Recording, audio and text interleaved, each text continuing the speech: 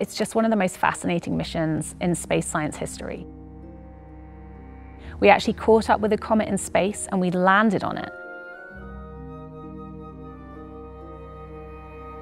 Comets are really special because they are literally the very first things to have formed in our solar system at the far outer reaches, really far from the sun. So they contain all the oldest ingredients that it took to form a solar system.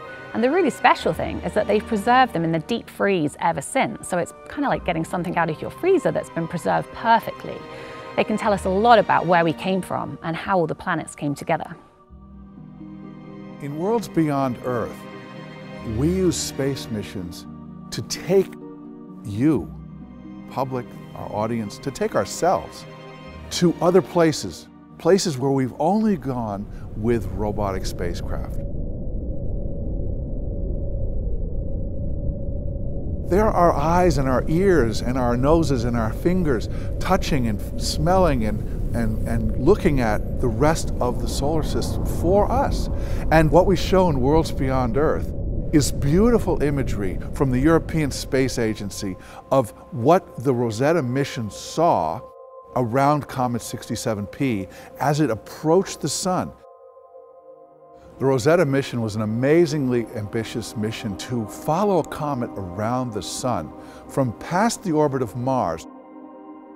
The comet itself is Churyumov-Gerasimenko, or 67P for short which is a few kilometers in diameter, even though it's really not a ball at all. It sort of looks like a rubber ducky. It's just beautiful.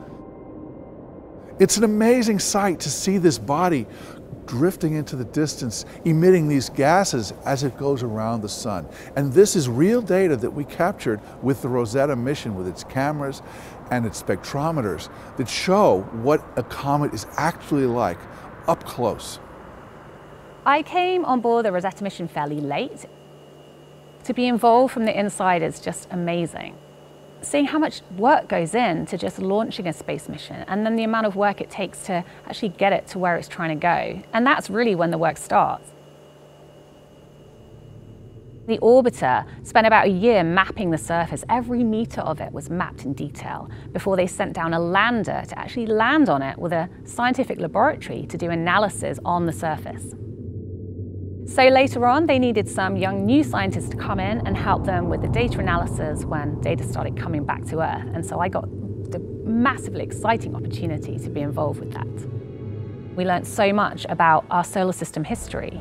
We learned that there's amino acids on a comet, which means that they could have brought life to Earth one day. Our solar system is not finished even on the cold side of the asteroid belt, where we're looking at frozen icy bodies, actually there's tons of activity and tons of processes that are not that dissimilar to what we find on our own planet.